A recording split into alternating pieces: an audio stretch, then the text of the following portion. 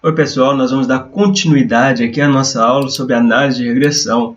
É, nós vamos aprender nessa aula sobre análise de regressão quadrática, vamos aprender a fazer análise de variância, fazer testes de hipóteses, né? É, vamos aprender a fazer essa análise até mesmo na calculadora científica. Veja só, essa aula ela está dando continuidade a essas duas aulas anteriores, né? Na aula 15A nós falamos sobre análise de regressão, fazemos uma breve introdução aí sobre análise de regressão, falamos sobre a forma como a qual nós vamos estimar os nossos coeficientes de regressão, deduzindo de uma forma, né, que permitia a gente a chegar na estimativa dos nossos coeficientes de regressão é, para o modelo de regressão polinomial de primeiro grau, né?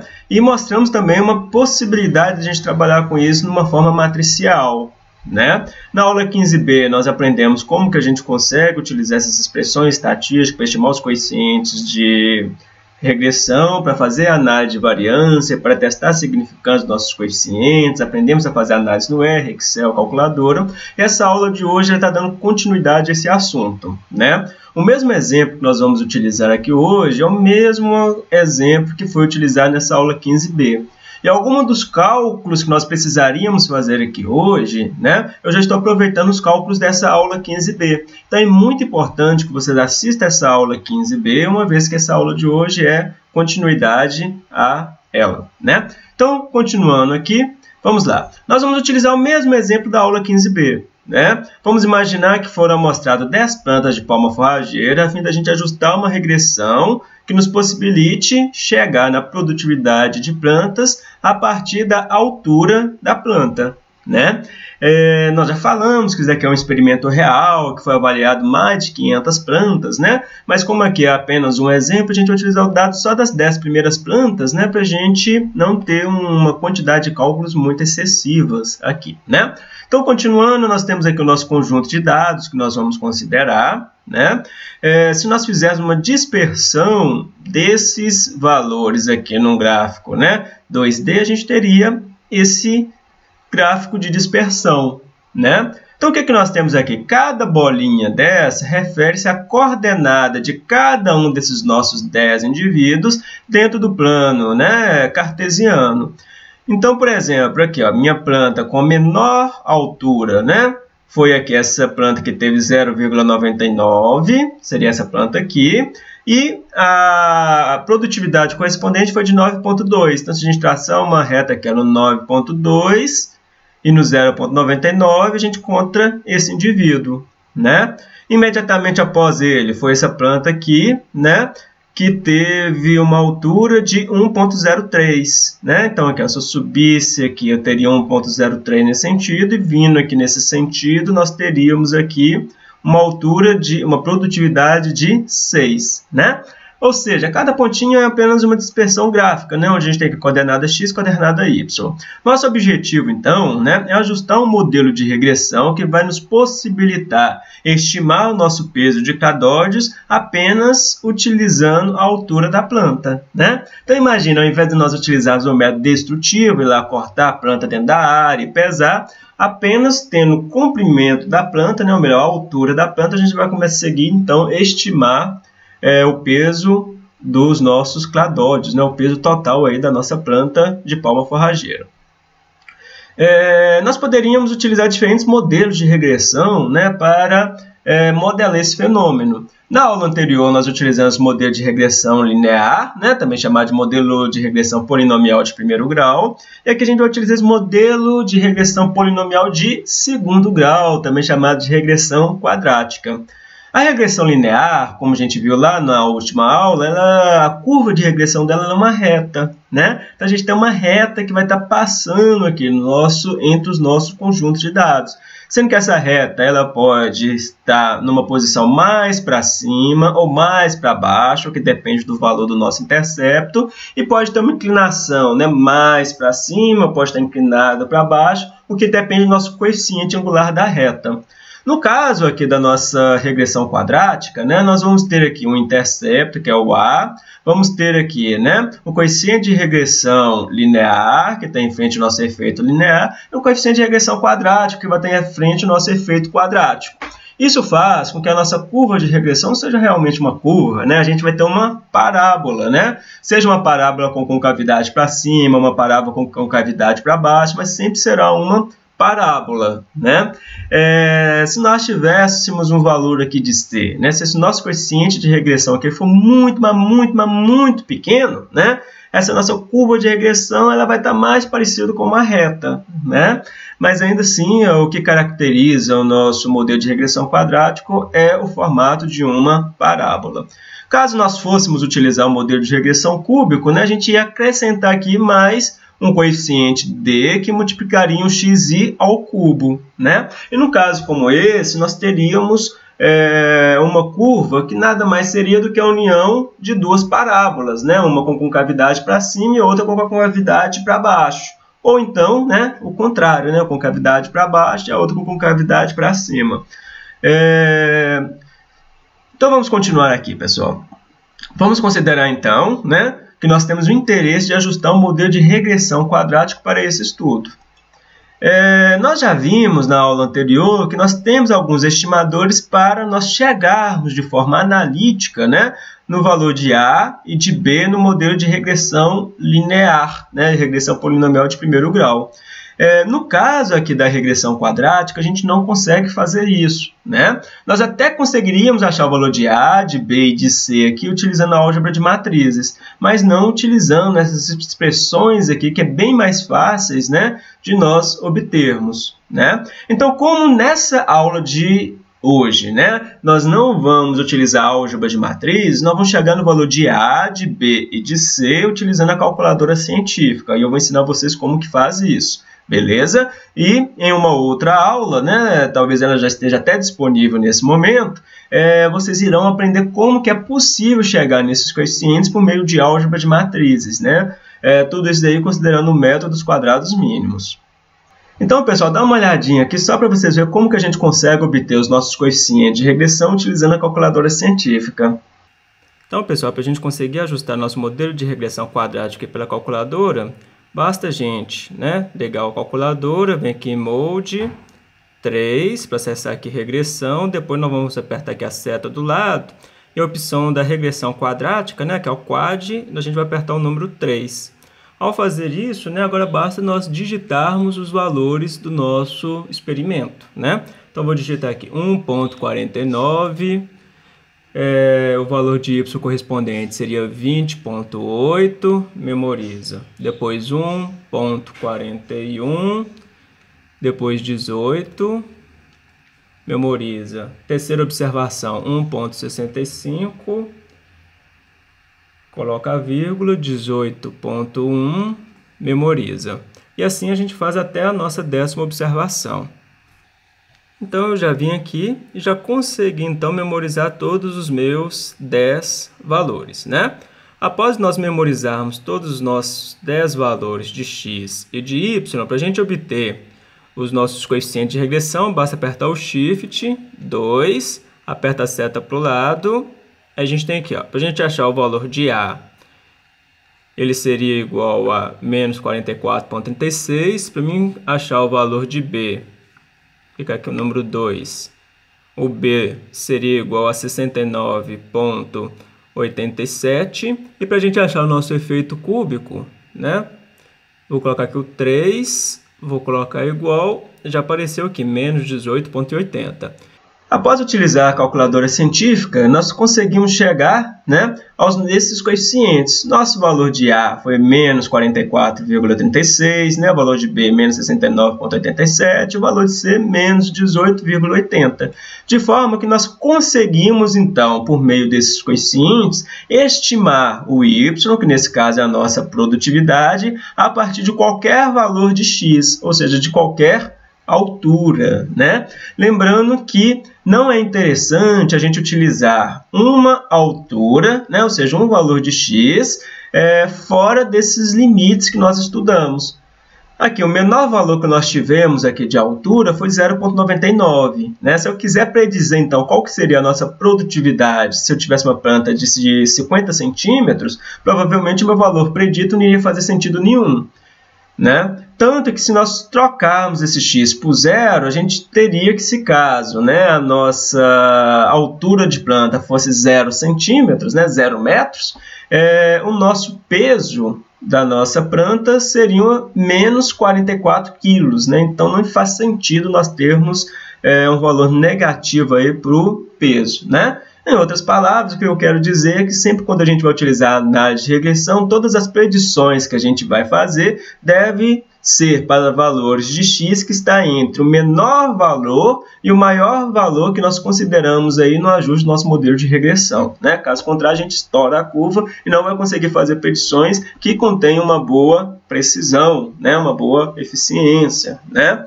É... Então, veja só, se nós pegarmos esse modelo de regressão aqui, né, e substituir esse x por cada um desses nossos valores de altura observados, nós vamos ter as nossas produtividades preditas, né? Então, se eu vier aqui ó, e trocar esse x por 1,49, e fazer né, essa continha, nós vamos chegar nesse valor de 17,99913. Né? Se eu substituir esse x aqui e esse x aqui por 1,41, nós vamos conseguir chegar nesse 16,77. E fazendo isso para todos os valores, nós teremos todos esses valores de y predito. Né? Então, vocês conseguem chegar nesses valores de y predito apenas estimando os valores de A, de B e de C, que nem a gente acabou de aprender a fazer na calculadora científica. É, vamos calcular a soma de cada uma das colunas e aqui vocês conseguem ver né, que o somatório da minha produtividade, né, dos meus valores observados, do meu y observado, foi de 139,8. Se nós somarmos todos os nossos valores preditos, né, o valor que nós devemos encontrar aqui tem que ser idêntico ao total dos nossos valores observados. Aqui dá uma pequena diferença por questão de arredondamento. E olha que aqui eu estou considerando né, seis casas após a vírgula, né? em alguns casos aqui, na verdade, cinco casas após a vírgula. É, então, mesmo considerando esse tanto de casas após a vírgula, a gente ainda tem probleminha de arredondamento que faz os valores não bater. Então, sempre quando você estiver trabalhando com análise de regressão, considere o máximo possível de números após é, números de casas após a vírgula, né? Que isso vai fazer com que esses valores batam. E se caso der um valor muito diferente, aí vocês podem ter certeza absoluta que alguma coisa ficou errado. Ou os valores que vocês estão considerando aqui como sendo os coeficientes de regressão, ou então os valores que vocês fizeram aqui a predição, né? É, nós já aprendemos no slide anterior como a gente faz um gráfico de dispersão, considerando apenas né, o nosso valor observado. Vamos construir aqui um gráfico de dispersão, considerando tanto os valores observados, que são esses pontinhos em azuis, como os nossos valores preditos, né? que são aqui esses sinaizinhos de mais vermelho. Então, para cada valorzinho desse predito, né, eu fiz a dispersão aqui no gráfico, considerando né, como x a altura, como isso o nosso valor predito. Né? Se eu unir cada pontinho desse com uma reta, nós já conseguimos chegar aqui a nossa parábola, né? ou seja, a nossa regressão, a nossa curva de regressão quadrática.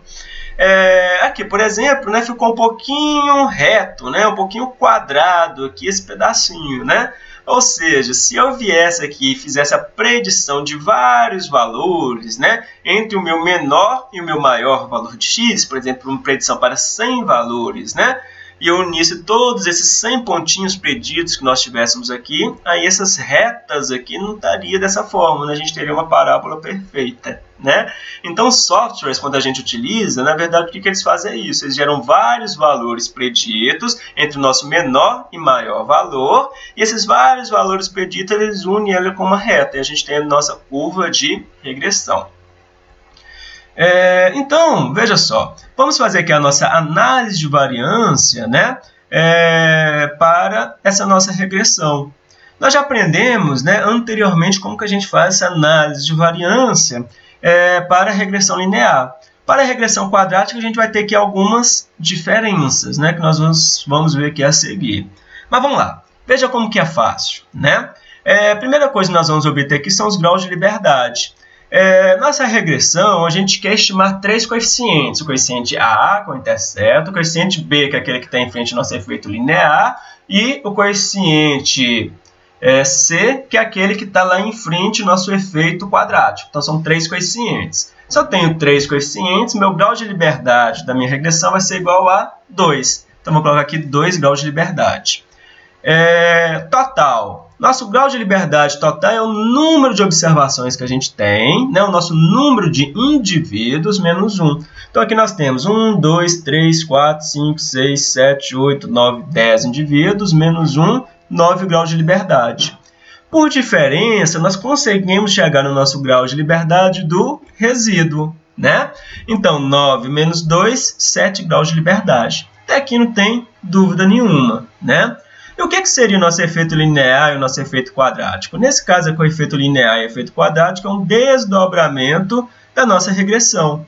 Meu efeito linear, né, ele sempre vai ter um grau de liberdade, meu efeito quadrático ele sempre vai ter um grau de liberdade. Se a gente somar 1 mais 1, vai dar esse 2 aqui de cima, né? Então, efeito linear e efeito quadrático é só um desdobramento, né? ou melhor, uma decomposição dos graus de liberdade aqui da nossa regressão. É, continuando aqui, então, vamos obter nossa soma de quadrados total. Para a gente fazer isso, a gente precisa considerar os nossos valores de y observados, né? Então, eu vou fazer 20.8 mais 18.0 ao quadrado, até nós chegarmos no nosso último valor, que foi 9.2 ao quadrado. Cada valorzinho desse vem de um único indivíduo, de uma única unidade experimental. Então, nós vamos dividir essa primeira parte por 1, menos a nossa correção, que é o valor total, elevado ao quadrado. Esse valor total ele vem de 10 observações, então aqui nossa correção a gente vai dividir por 10. Fazendo isso, né, nós conseguimos chegar aqui na nossa soma de quadrados total, cujo valor aqui foi de 238,056. Né?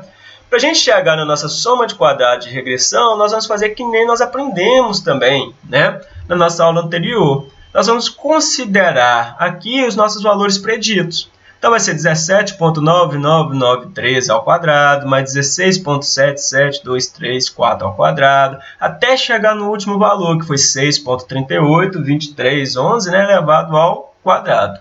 Cada valor predito, né, ele foi predito por um único indivíduo, para uma única observação. Então, essa primeira parte a gente divide por 1. Menos a nossa correção, que nesse caso aqui é o nosso valor total, né? Arredondando isso daqui, né? Nosso valor é, total é 139,8 ao quadrado, dividido por 10, que é o nosso número de observações que a gente precisou somar para chegar nesse total. Fazendo isso, nós chegamos aqui a 200.72103. Então, essa é a nossa soma de quadrados é, da regressão. Para chegar na soma de quadrados do resíduo, a gente vai obter ele por diferença. Né? Vai ser soma de quadrados total menos soma de quadrado do resíduo. Fazendo 238.056 menos 200,72103, a gente vai achar aqui a 37.33, né? Esse daqui é o nosso grau de liberdade do resíduo. É, agora a gente vai obter nossa soma de quadrados para o efeito linear para o efeito quadrático. A soma de quadrados por efeito linear, nós já calculamos ela na aula anterior, né? Então, se vocês ir lá na nossa aula anterior, vocês vão ver que a gente conseguiu chegar no nosso efeito linear. E nessa análise de variância, a gente consegue achar a nossa soma de quadrado do efeito linear como sendo 195,5746. É, o que, que acontece? Nós falamos né, que o efeito linear, o efeito quadrático, é uma decomposição da fonte de variação regressão. Então, para a gente chegar aqui na nossa soma de quadrados do efeito quadrático, basta eu fazer por diferença. Eu faço 200.72103 e subtraio esse valor de 195.5746. E aí a gente consegue chegar, então, né, no nosso efeito quadrático, que foi igual a 5,14643. Agora fica muito fácil a gente obter nossos quadrados médios. A gente pega cada uma dessas somas de quadrado e divide pelo seu respectivo grau de liberdade. Né? Então, nós temos aqui os nossos quadrados médios. Para a gente obter o f calculado, vou pegar todos esses quadrados médios e nós vamos dividir pelo quadrado médio do resíduo. Então, nós vamos ter aqui né, esses valores de f calculado. Para achar o valor de F tabelado, a gente vai lá na tabela do teste F, ao nível de 5% de significância, e vai procurar 2 na coluna, 7 na linha. Nós vamos achar o valor de 4,74. Depois vamos procurar o valor de 1 na coluna, 7 na linha, a gente vai achar o valor de 5,59, beleza? E agora a gente já consegue, então, fazer os nossos testes de hipóteses. Para a regressão, né, nossa hipótese nula seria a regressão não é significativa. Hipótese alternativa, a regressão é significativa. Né? É, aqui, como nosso valor de f calculado foi maior que o nosso valor de f tabelado, a gente rejeita H0. E admite, então, que a nossa regressão ela é significativa. Isso quer dizer que essa variação aqui, ó, que foi encontrada para a, o, para a nossa regressão, ela foi maior do que a variação que se deve ao acaso. Ou seja, a nossa regressão ela realmente conseguiu encontrar ali uma associação entre x e y, né? Ou seja, a nossa regressão ela teve uma eficiência aí na predição, né? Aqui, pessoal, para a gente fazer o nosso próximo teste de hipótese, faz mais sentido a gente considerar aqui né, o teste de hipótese do efeito quadrático. O efeito linear não faz muito sentido a gente considerar né, é, uma conclusão do ponto de vista prático aqui, considerando essa análise de variância. Por quê? Porque o que, que a gente está fazendo aqui é o seguinte, a gente já tinha calculado o efeito linear, né? Essa variação explicada apenas considerando o efeito linear. Se caso nós considerarmos o nosso efeito quadrático, né, a gente vai conseguir explicar um pouquinho mais da variação, né, que seria esse 5.14. Então, esse teste de hipótese que a gente vai fazer aqui agora, né, para o nosso efeito quadrático, seria para verificar se é vantajoso ou não nós adicionamos o efeito quadrático ao nosso modelo de regressão. Né? É, então, a nossa hipótese nula aqui para o efeito quadrático seria o efeito quadrático não é significativo, né? ou em outras palavras, a contribuição do efeito quadrático no modelo não é significativo, né? ele não tem uma contribuição importante para o nosso modelo estatístico. Hipótese alternativa, esse efeito ele é significativo. Se nós formos olhar, nosso valor de f calculado foi menor do que nosso valor de f tabelado. Isso significa que o nosso efeito quadrático é não significativo, que do ponto de vista estatístico não vale a pena a gente adicionar o efeito quadrático no nosso modelo. Né? É, isso daqui, pessoal, é uma informação muito importante, né? Porque são essas informações que vai nos dizer qual modelo de regressão que a gente precisa considerar para o nosso conjunto de dados. Se vai ser uma regressão linear, uma regressão quadrática, né? Ou uma regressão, até mesmo uma regressão cúbica. É, então vamos lá é, nós conseguimos estimar o coeficiente de determinação. Né? A gente até aprendeu a fazer isso na última aula. Né? Nós falamos que basta nós pegar a nossa soma de quadrados da regressão e dividir pela soma de quadrados total. Então, soma de quadrados da regressão dividido pela soma de quadrados total, a gente achou o valor aqui de 0,8434.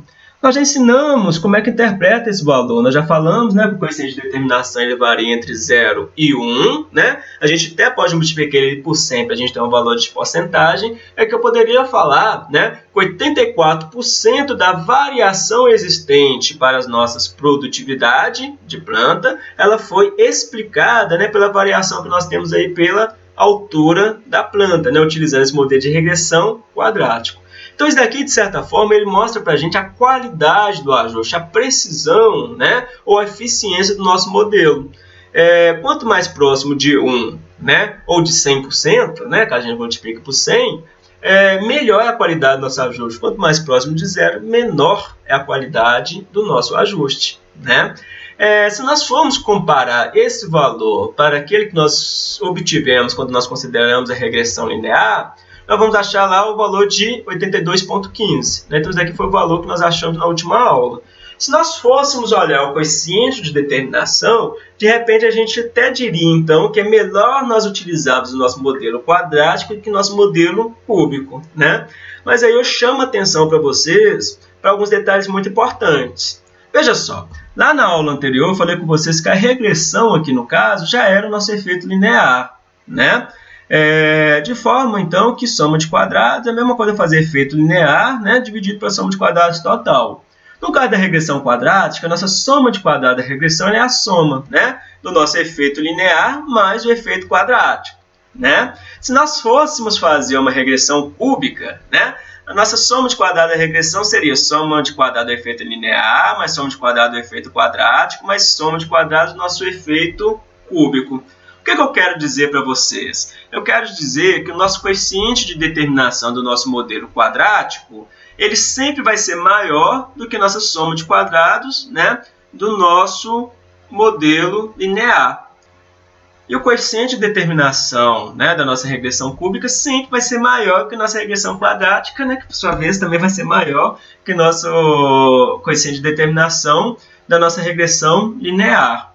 Ou seja, o coeficiente de determinação ele não é um bom indicativo para nós selecionarmos modelos. Né? Uma vez que o nosso coeficiente de determinação ele sempre vai ser maior de acordo com que a gente aumenta o número de parâmetros no nosso modelo. Então, quanto mais parâmetros a gente for considerar no nosso modelo, maior vai tender a ser nosso coeficiente de determinação. Né? Então, um critério bem legal para a gente utilizar é a significância dos nossos coeficientes de regressão, né? ou até mesmo a significância que a gente tem aqui na nossa análise de variância. Né? É, então, sempre no trabalhinho de vocês, no artigo de vocês, quando vocês for testar diferentes modelos de regressão, né, linear e quadrático, por exemplo, é, para ajustar os tratamentos de vocês, vocês escrevem material e métodos, né? que a seleção do modelo será feita considerando a significância dos coeficientes de regressão, ok? O modelo de regressão cúbico, pessoal, geralmente a gente não utiliza ele muito não, né? Porque o modelo de regressão cúbica ele tem um comportamento de subir, depois descer e depois subir de novo. Do ponto de vista biológico, né, em muitos casos é difícil a gente conseguir explicar esse comportamento. Imagine só, a gente está trabalhando com determinado nutriente, né? com fósforo, por exemplo. Estou trabalhando com diferentes doses de fósforo. Não tem como eu explicar esse comportamento. vou aumentando a dose de fósforo, a produtividade aumenta até um determinado momento, quando a produtividade diminui, e depois a produtividade começa a aumentar de novo. Né? Isso não tem explicação biológica. Então, na maioria das vezes, a gente evita de utilizar um modelo de regressão cúbica por conta desse motivo, né? para não ter uma justificativa aí do ponto biológico. Né? Mas em outros casos, como curva de lactação, né? ou então para trabalhar aí com culturas que têm bianualidade de produção, como café, por exemplo, às vezes faz sentido esse comportamento de sobe e desce. Né? Então depende muito do caso, mas de forma geral a gente sempre evita de utilizar o modelo de regressão cúbica. É, mas, de qualquer forma, né, é sempre legal a gente considerar que é significante o nosso coeficiente de regressão para a gente ver qual modelo que nós vamos selecionar. É, vamos aprender agora, pessoal, como que a gente consegue chegar na nossa análise de variância e na significância de cada dos nossos coeficientes de regressão lá pelo R. Vamos lá, então? Então, pessoal, vamos aprender como que a gente consegue fazer essa análise no R, né? Então, a gente tem esse arquivo txt chamado dados, ele está aí na descrição do vídeo, onde a gente tem que tabular os valores das nossas autores, da produtividade dos nossos 10 indivíduos, né? Utilizando aqui como separador, né, pontos, né? Ou seja, pontos como separador de casas decimais, né? Para a gente não ter erro lá dentro do R. É, vou fechar aqui esse arquivo e nós vamos abrir ele aqui dentro do R. Para isso, vou copiar o meu endereço, né? Então, clico na barra de endereço, copia. Vou vir aqui dentro do R, vou apagar a memória do R. Então, remove, list, igual a ls, abre e fecha parênteses. Dou Ctrl Enter, apagou aqui a memória do R. Ctrl L para limpar o console, né? limpei aqui o console. E agora eu vou colocar aqui a set wd, abre parênteses, abre aspas, Ctrl V. Quando eu faço isso, né, é, se eu der um Ctrl Enter, vai dar uma mensagem de erro, porque a barra está virada para o lado contrário. Então, tem de inverter a direção das barras. Vou só selecionar aqui a barra para esse lado, vou clicar aqui em cima da lupa, né? Eu vou substituir a barra virada para a esquerda pela barra virada para a direita, né? Vou vir aqui ao, substituir tudo. É que a gente consegue substituir, então, né, virar as nossas barras de direção. Dou Ctrl Enter, né? Então o R já vai entender essa parte como se a nossa parte de trabalho. Vou criar o meu objeto, vou chamar ele de desão igual a ler.tabela, aspas. Na hora que eu apertar o tab, ele já vai lá dentro daquela pasta e vai nos possibilitar clicar aqui em cima do arquivo chamado dados.txt. Vou colocar uma vírgula, depois aqui, né, eu vou colocar cabeçalho igual a verdadeiro e vou dar um Ctrl Enter. Quando a gente faz isso, nós conseguimos, então, abrir aqui dentro do R nosso conjunto de dados, beleza? É, então, tem aqui os nossos 10 indivíduos. Eu vou voltar aqui no R e nós vamos criar, então, nosso modelo de regressão quadrática. Vou chamar aqui de modelo 2, né? Regressão quadrática vai ser igual a LM, a gente já falou na última aula que esse LM é para a gente ajustar modelo de regressão linear. Então, o que, é que nós vamos fazer? Vamos colocar aqui dentro prod, né? Que prod é o nosso y, é o que a gente quer predizer. O que, que a gente quer considerar? A gente quer considerar um intercepto, né? Eu não preciso colocar aqui no modelo um intercepto, porque o R sempre considera, né? Como default que a gente está colocando um intercepto. Depois do intercepto, a gente quer achar o coeficiente angular, né? É, relacionado ao nosso efeito linear. Então, o nosso efeito linear é de quem? Da altura. Então, vou colocar aqui ALT de altura. E quero achar também né, um coeficiente que vai estar lá na frente do nosso efeito quadrático. Então, vou colocar aqui, ó, mais nosso efeito quadrático. ALT elevado ao quadrado. O que, que acontece?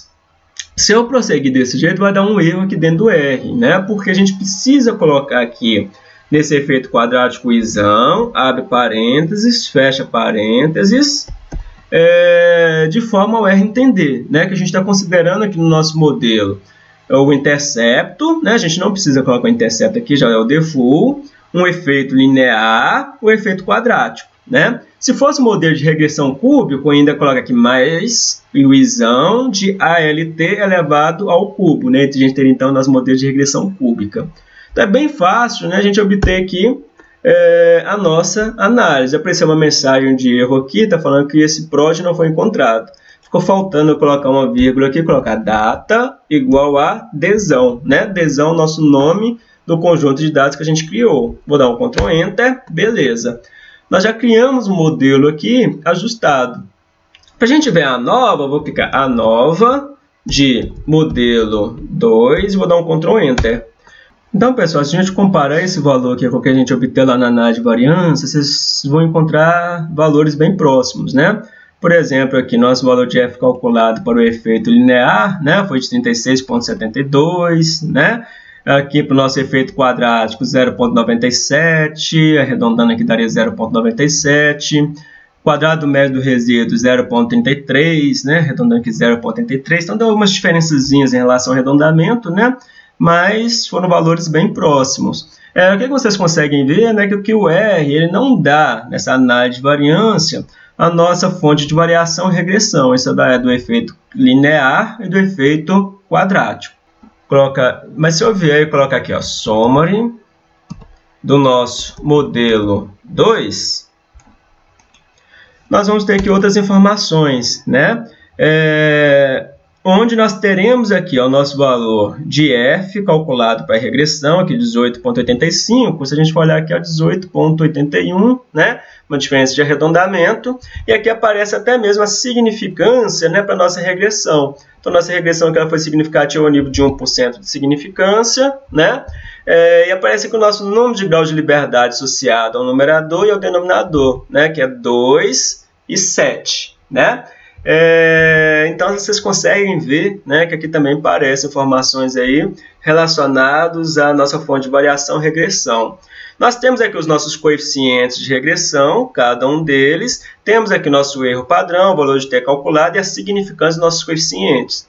Então aqui a gente consegue ver que se nós considerarmos a nossa regressão quadrática, né, nós vamos ter aqui efeitos não significativos, né? É, tanto para o intercepto, como para o efeito linear, como para o efeito quadrático, ok? E temos aqui também o nosso coeficiente de determinação, que foi 0.84.34. Vamos então aprender como que a gente faz esse gráfico aqui no Excel. Né? Na última aula a gente fez esse gráfico aqui considerando o, a nossa regressão polinomial de primeiro grau. Né? É, nós vamos refazer esse mesmo gráfico aqui, mas considerando agora a nossa regressão quadrática. Então, vou selecionar aqui esses dois valores, né, melhor, essas duas colunas, inserir gráfico de dispersão, dispersão já apareceu aqui, né, é, o nosso gráfico. Vou apagar essas linhas horizontais, vou vir aqui, vou colocar uma legenda, né, layout, título de eixos, vou colocar aqui a altura da planta, em metros. É, vou colocar aqui a nossa produtividade, né, como sendo o nosso eixo Y.